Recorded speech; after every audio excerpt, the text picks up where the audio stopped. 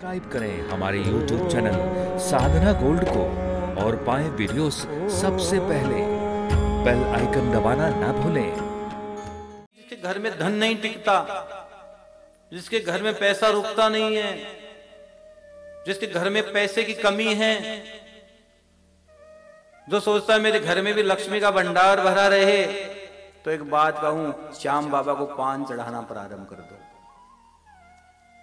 सुबह जब जोत लो, बाबा शाम की जब जोत लेने बैठो तो उस जोत के अंदर कुछ कुछ भी चढ़ाओ, न चढ़ाओ, एक पान पूरा बना हुआ बाबा को चढ़ा दो। क्यों जोत में ही मेरे बाबा श्याम प्रकट होते हैं। बाबा श्याम की जोत जब भक्त लेता है तो जोत में ही बाबा श्याम का प्रादुर्भाव होता है भैया। जो कोई भक्त बाबा श्याम को प्रसन्न मन से होकर वो पान चढ़ाता है तो मैं सच कहता हूँ, आप 21 दिन 25 दिन 27 दिन चढ़ा के देख लो। एक बार एक काम करो 27 दिन का प्रयोग करो। लेकिन ध्यान रखना जोत में गाय का घी ही लेना, एक आसन पर बैठ जाना, बाबा श्याम की जोत लेना, और जोत के बाद प्रणाम करके, संकल्प लेके प्रणाम करके, वो पान बाबा की जोत में चढ़ा देना, और ऊपर घी और ऊपर से थोड़ा चढ़ा देना। फिर आरती कर देना। आरती से पहले एक काम करना है, तीन श्याम चालीसा और एक हनुमान चालीसा का पाठ करना।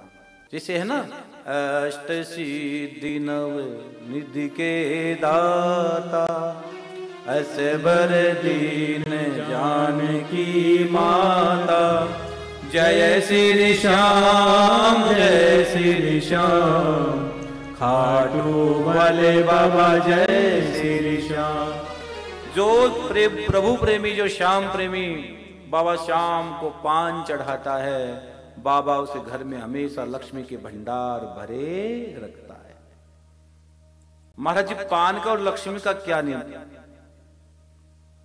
पान में लक्ष्मी का निवास है भैया। पान के मूल भाग में लक्ष्मी का निवास बताया गया है और पान के तने में कामदेव कामदेव का निवास बताया गया है। और पान के आगे और पीछे के भाग में दरिद्रता का निवास बताया गया। आप देखना कभी, पान वाला जब पान बनाता है तो पान को आगे पीछे दोनों से काटता है। लेकिन भगवान नारायण ने आशीर्वाद दिया, दरिद्रता से कहा कि जो पान मेरी पूजा में चढ़ जाए, उसमें तुझे स्थान नहीं मिलेगा। तो जो पान पूजा में चढ़ जाता है, उसमें कभी दरिद्रता नहीं आती। क्योंकि पान स्वयं परमात्मा का प्रसाद है।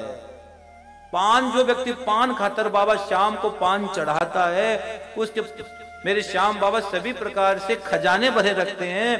साथ ही साथ उसके जीवन में हमेशा लक्ष्मी की कृपा बनी रहती है। उसके घर में लक्ष्मी की कभी कमी नहीं आती।